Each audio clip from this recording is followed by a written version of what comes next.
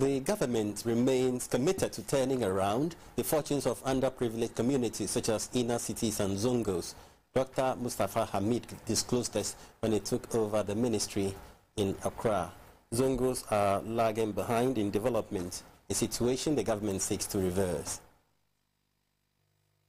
President Akufo-Addo's move of setting up the Ministry of Inner City and Zongo Development was a novel idea that seeks to undo the prevalent situation of poverty to prosperous, sustainably developed communities.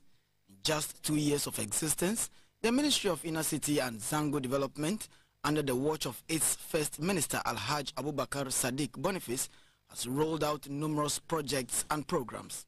They include sports pitches to unearth raw talents in Zongos, constructed new schools where needed, and renovate dilapidated ones, silted, death-threatening drainages, water and sanitation facilities. Arabic instructors, about 3,000 of them have been employed across the country. We have clean up, clean Zongo program. Zongo for peace and development. That is what we call ZUPA. Currently, as I speak, I cannot go through. There are plenty.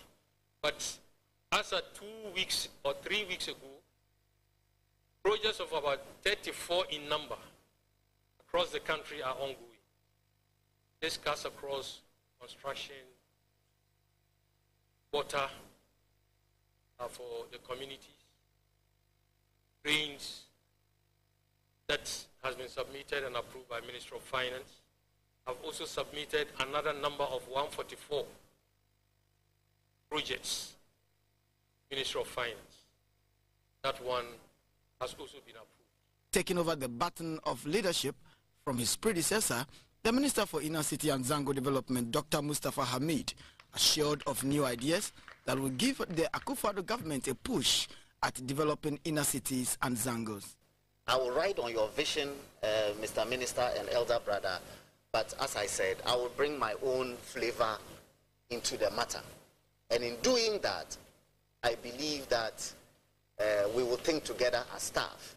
There are numerous knobs that have been turned with development partners to push resources to these underdeveloped communities. Our government has approved some 144 projects for implementation across Zongos in the country. Unto Bibini GBC 24, Accra.